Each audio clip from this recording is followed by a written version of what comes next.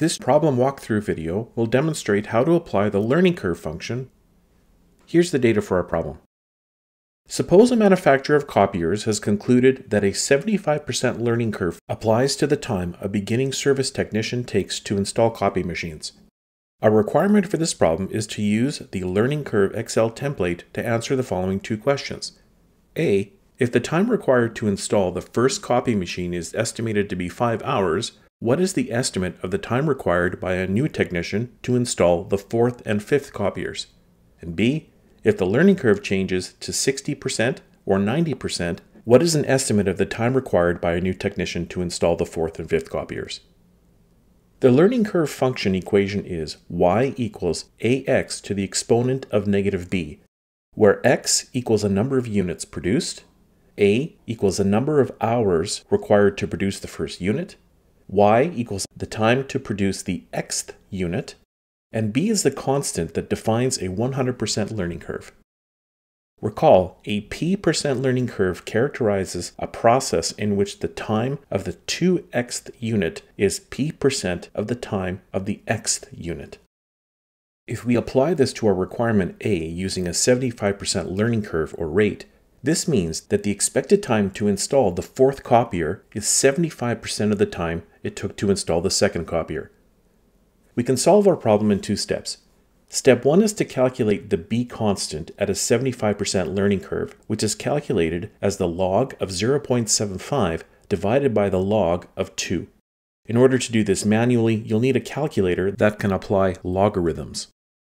Here's the calculation demonstrated using a Texas Instruments BAII Plus financial calculator, where we can enter 0.75 and then press the ln button for logarithm, then divide, press the number 2, then ln, and then the equal sign to get a result of negative 0.4150. I'll store this answer into the calculator memory block number 1 so I can use it in the next step by pressing STO, then 1 for step 2, we can substitute b into the learning curve function y equals ax exponent negative b. Notice that the exponent is negative b, and that's because the logarithm calculations for b resulted in a negative number. When substituting, we want to be careful not to substitute that as a double negative. For x equals 4, or the fourth installation, y equals the 5-hour installation time multiplied by 4 to the exponent of negative 0.4150, which equals 2.8 hours rounded.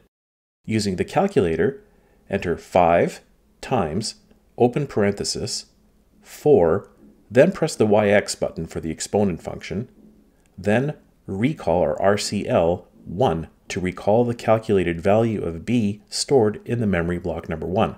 Close parenthesis and press the equal sign, and you should get the correct answer. For x equals 5, or the fifth installation, y equals the 5-hour initial installation time multiplied by 5 to the exponent of negative 0.4150, which equals about 2.6 hours rounded.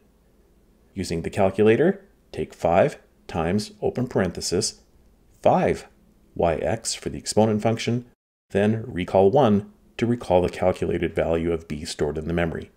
Close parenthesis and press the equal sign, and you should get the correct answer. You can see here that the installation time drops with each successive installation, which makes sense as the technician should become more efficient with each installation.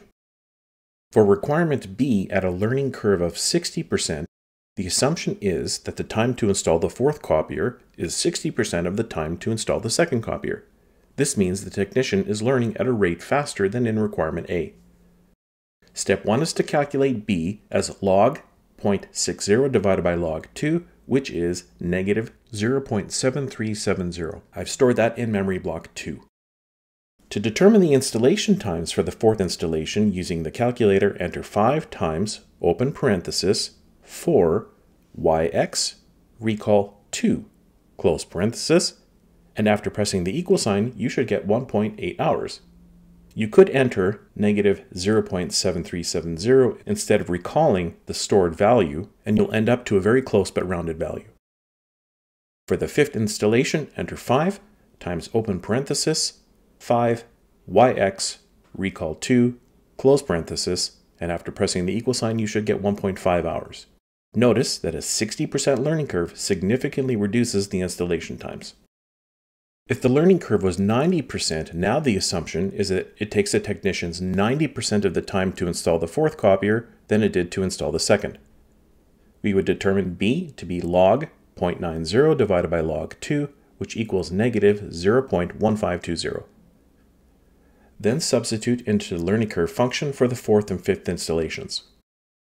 The fourth installation would take 4.05 or about 4.1 hours calculated as 5 times 4 exponent negative 0.1520. Using the calculator without recalling, the calculation would look like this.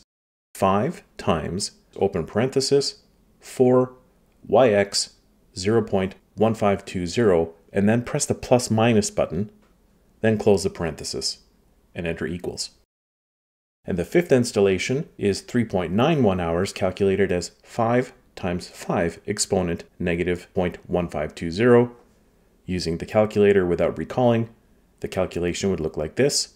5 times open parenthesis 5 yx 0.1520 plus minus button close parenthesis equals.